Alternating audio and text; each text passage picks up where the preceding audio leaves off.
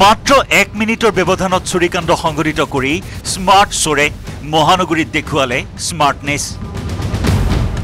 মহানগৰীৰ মাজমজিয়াত সংঘটিত হ'ল চুৰিকাণ্ড সময় মঙলবাৰে বিয়লি পাঁচ বাজি ত্ৰিছ মিনিট। পাঁচ বাজি ত্ৰিছ মিনিটত দোকানখনৰ পৰা বাৰাণ্ডালৈ ওলাই আহিছিল দোকানীজন। পাঁচ বাজি একত্ৰিছ মিনিটত দোকানৰ পৰা ৰাস্তাৰ ফালে ওলাই যায় দোকানীজন। আৰু পাঁচ বাজি একত্ৰিছ মিনিট তেইছ ছেকেণ্ডত দোকানখনত প্ৰৱেশ কৰে চোৰ।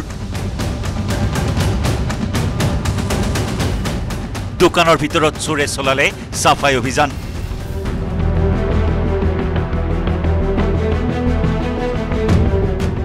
দোকানৰ কেছ বক্সৰ পৰা ধন লৈ পাঁচ বাজি একত্ৰিছ মিনিট চৌৱান্ন ছেকেণ্ডত উধাও হ'ল চোৰ। অৰ্থাৎ মাত্ৰ এক মিনিটৰ সময়। দোকানীজন দোকানৰ পৰা ওলাই যোৱাৰ এক মিনিটৰ ভিতৰতে চাফা কৰিলে চোৰে।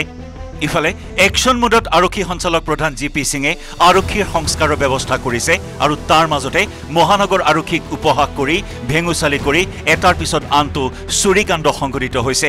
ভালেখিনি পইচা আছিল। তাৰপাছত মই আপোনাৰ পাঁচটা চাৰে পাঁচটাত দোকানৰ পৰা ওলাই গ'লোঁ। ওলাই যাওঁতে আপোনাৰ যেতিয়া দোকানৰ পৰা ওলাই গ'লোঁ যোৱাৰ পিছত কেছ কাউণ্টাৰটো আপোনাৰ খোলা আছে খোলাখিনি আপোনাৰ বাকী পইচাখিনি গোটা লৈ গৈছে। নুনমাটিৰ পৰা অজয় বৰ্মনৰ report news eighteen Assam north east.